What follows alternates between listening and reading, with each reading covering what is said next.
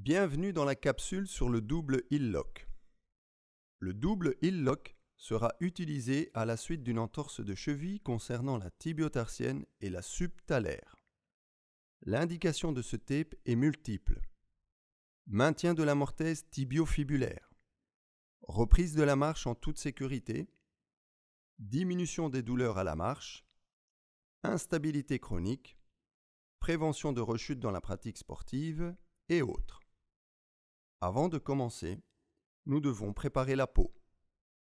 Pour ceci, vous utiliserez un rasoir jetable ou mieux, une tondeuse afin d'améliorer l'adhésion du tape. Il est préférable de raser la peau à distance de la pose pour éviter toute irritation supplémentaire. Au besoin, il faudra envisager du désinfectant en cas de blessure. L'application de colle est fortement recommandée afin d'améliorer le maintien du tape tout au long de la pratique sportive.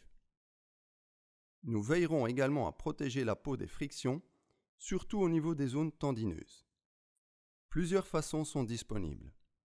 Mousse, pad, upside, etc. Le patient se placera confortablement sur la table en décubitus dorsal, le pied en dehors de la table. Pour cette technique, nous utiliserons du tape non élastique de la marque Strapal ou autre selon vos préférences. Le but de la technique sera d'encercler la tibiotarsienne deux fois consécutivement. Le pied est bien maintenu à 90 degrés. Nous prenons soin de dérouler au préalable un peu la bande. Nous démarrons sur la face dorsale du pied. Nous nous dirigeons vers la voûte plantaire en passant par le tubercule du naviculaire. Nous déroulons la bande et passons sur la voûte plantaire.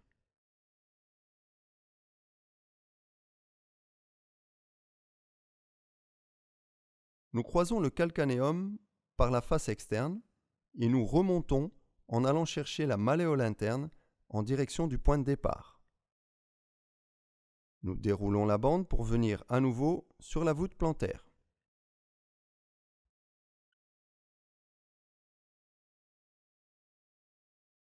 Croisez de manière à vous diriger vers la face postéro-interne du calcanéum.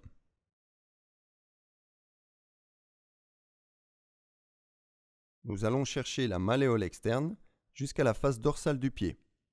Et voici donc le premier heel lock réalisé. Pour le doubler, nous suivrons le même trajet. Nous passons par le tubercule du naviculaire, nous repassons par la voûte plantaire, puis nous croisons le calcanéum par la face externe et nous remontons en allant chercher la malléole interne pour croiser à nouveau notre point de départ. Nous repassons par la voûte plantaire et nous nous dirigeons vers la face postéro-interne du calcanéum. Enfin, nous nous dirigeons vers la malléole externe et terminons sur le dos du pied. Fixez le bandage tout autour du pied. Notre double heel lock est donc terminé. Assurez-vous que le tape ne soit pas compressif. Pour cela, demandez au sujet de tester le tape en marchant quelques secondes. Tout signe de compression vous obligera à ôter immédiatement le montage au risque de créer un syndrome de Volkmann. Le tape devra être enlevé juste après la pratique sportive. Dans les autres cas, il pourrait être tenu au maximum deux jours. Comme pour toute technique manuelle, la persévérance, la rigueur et la répétition sont la clé afin d'obtenir la maîtrise de la gestuelle. À bientôt!